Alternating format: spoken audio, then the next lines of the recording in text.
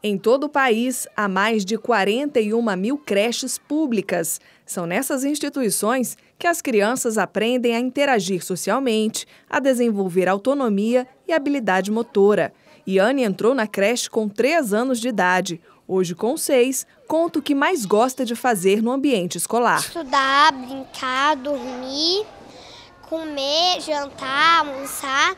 Ah, toda escola deveria ter que ser assim. E se depender do MEC, Anne, vai ser sim. A pasta propõe universalizar a pré-escola até 2022. Para isso, quer acelerar a conclusão de mais de 4 mil creches paradas desde 2007. A meta faz parte do compromisso pela educação básica, anunciado agora em julho. O secretário de Educação Básica do MEC, Jânio Macedo, explica como o plano será executado. A gente verificou que nós temos aproximadamente 4.800 creches que foram, cujas construções foram iniciadas e não foram concluídas. Então, para que a gente possa estabelecer uma política de continuidade da construção dessas creches, a gente entende que, primeiro, nós precisamos saber quais foram as razões que levaram à não conclusão dessas 4.800 creches, para que a gente possa, eventualmente, fazer uma correção do programa. É todo um pacote de redesenho da, da assistência às crianças de zero a cinco anos, para que elas possam ser acolhidas pelas escolas. Nesta escola em Brasília estudam 150 crianças entre 0 e 5 anos.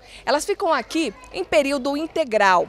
Camila Inará é mãe do pequeno Davi, um dos alunos da creche. Para ela, o suporte da instituição é fundamental. Para mim é muito importante. Eu deixo meu filho aqui sete e meia da manhã e busco cinco e meia da tarde de consciência tranquila. O objetivo do MEC, com o Compromisso Nacional pela Educação Básica, é impulsionar a educação brasileira para que o Brasil seja referência na América Latina até 2030. O nosso primeiro passo, o nosso primeiro horizonte é 2030, onde a gente espera que até lá, esse trabalho que se iniciou agora em 2019, a gente possa pelo menos estar é, começando a colher os frutos desse trabalho, ou até então é, é, construindo os primeiros pilares desse trabalho que a gente espera que se perpetue no tempo, que se alongue no tempo, e assim a gente possa ter efetivamente uma educação de qualidade para os jovens brasileiros.